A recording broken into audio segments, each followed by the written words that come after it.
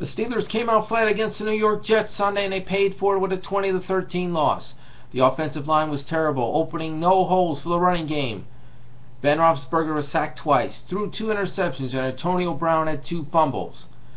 The kicking game was inconsistent. Shaun Suisham missed a makeable 23-yard field goal. The defense had no pressure, no four sacks, but did not force any turnovers. The Steelers have to do a better job of that next Monday night at LP Field against the Tennessee Titans. The offensive line has to open the holes for the running game and protect Ben.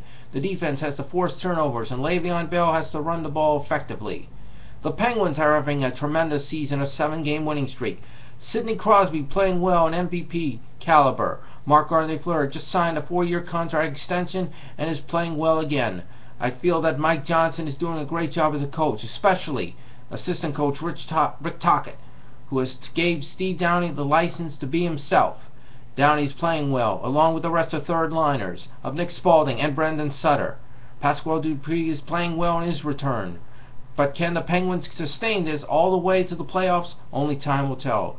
Russell Martin and Francisco Liriano has turned down their one-year one-year tenders by the Pirates and will go into free agency. Martin has already had offers from Chicago, Toronto, and the Los Angeles Dodgers. I don't know if the Pirates will be able to sign him. Liriano might be an easier one to re-sign, but also they also the Pirates have also have to re-sign Neil Walker for the long term. Tomorrow the NL Manager of the Year will be announced.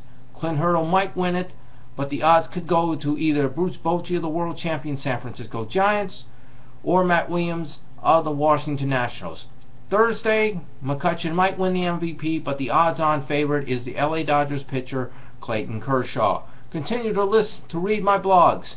Right now it's Rob Layton1 via WordPress.com. There have been some problems with it. So I'll try to do my videos as soon as I can, and as always, keep watching and keep reading my work.